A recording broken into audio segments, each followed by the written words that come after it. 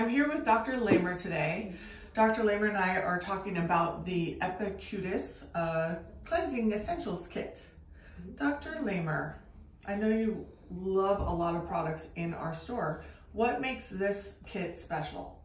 What makes it special is it's an oil cleanser, uh, which is really great um, for actually a lot of skin types, mm -hmm. um, but especially if you have like oily or acne prone skin or just want to get some makeup off at the end of the day because oil emulsifies oil.